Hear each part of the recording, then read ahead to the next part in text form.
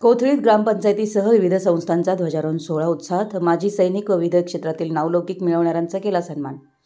देशात पंच्याहत्तरव्या स्वातंत्र्य दिनानिमित्त फक्त शासन दरबारीच नव्हे तर प्रत्येक देशवासियाच्या मनात आज आनंदाची समाधानाची भावना ओसंडून वाहताना पाहायला मिळाली. विविध स्तरावरील समाजातील प्रत्येक वर्गाकडून देशाच्या स्वातंत्र्याच्या या अमृत महोत्सवाचा आनंद साजरा करण्यात आला. कोथळी तालुका शिरोळ येथेही ग्रामपंचायतीच्या वतीनं ग्रामपंचायतीच्या चौकात तसेच विविध सहकारी संस्थांच्या वतीनं ध्वजारोहण मोठ्या उत्साहात संपन्न झालं.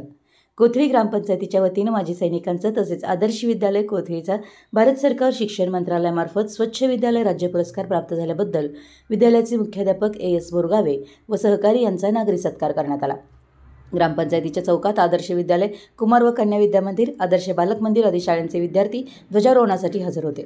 ग्रामपंचायतीचं ध्वजारोहण सरपंच प्रतेश खवाटे कर्मवीर मल्टीस्टेट पतसंस्था श्रीकांत इंगळे आदिनाथ दिगंबर जैन मंदिर ट्रस्ट विजय खवाटे सर्वोदय पतसंस्था स्वातंत्र्य सैनिक कैलाससी तुकाराम सावंत यांच्या पत्नी लक्ष्मीबाई तुकाराम सावंत मराठी शाळा उपसरपंच सौ राजश्री सुतार कोथळी सेवा सोसायटी संजय नांदणे महावीर पतसंस्था स्वातंत्र्य सैनिक कैलासवासी भाऊसो इंगळे यांच्या पत्नी श्रीमती शानाबाई इंगळे क्रांती पतसंस्था डॉक्टर संतोष पाटील क्रांती सेवा सोसायटी उत्तम कामत खर्डेकर सेवा सोसायटी चेअरमन बाळासू विभूते लक्ष्मी पतसंस्थेचे कवठेसारचे विजयकुमार नांद्रेकर सुभाष दूध डेअरीचे चेअरमन रावसो पाटील आदर्श विद्यालयाचे माजी मुख्याध्यापक एडी शिरोटे या प्रमुख मान्यवरांच्या हस्ते ध्वजारोहण करण्यात आलं.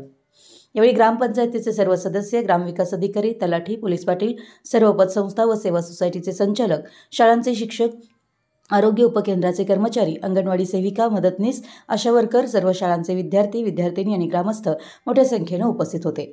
स्वागत ग्रामपंचायत सदस्य विजय खवाटे यांनी तर प्रास्ताविक रिषभ पाटील यांनी केलं.